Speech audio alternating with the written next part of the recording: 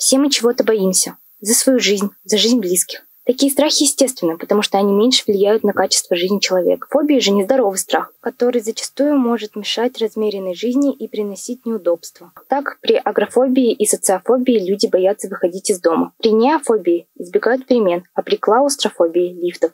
Получается так, что человек сознательно ставит себе ограничения. Я раз говорю, есть причины конкретные, а, при которых страх будет иметь место у всех, а есть уже такой тревожный психотип, который, э, в общем-то, начинает страдать, и страх является лишь триггером, а потом уже возникают беспричинные страхи, и этот психический след прокручивается, возникает невроз навязчивого состояния.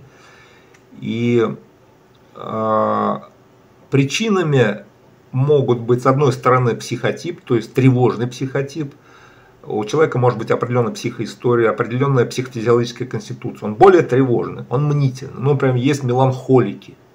Можно сказать, что фобия и страх – наша реакция на предполагаемую угрозу. Нас одолевает душевное смятение и беспокойство, когда мы чего-то боимся. Поэтому мы равны как перед нашими страхами, так и перед фобиями. Если копнуть глубже, становится понятно, что фобия – патологическая разновидность страха, которая выражается в более болезненном состоянии. Фобии возникают в результате сильного испуга, который чаще всего человек мог пережить в детстве. И нередко фобия не связана с действительной опасностью для жизни. Ну, если говорить уже о страхах, вызванных просто э, заниженной самооценкой, повышенной тревожностью, да, здесь помогает практика, деятельность, человек должен почувствовать, что он талантлив, что он способен, он должен иметь конкретные результаты. Если он просто будет применять приемы, но э, не будет изменять себя в деятельности, в практике, в конкретных результатах, где можно будет реально видеть, на что способен человек в творчестве, в деятельности, в науке, в искусстве, в учебе и так далее.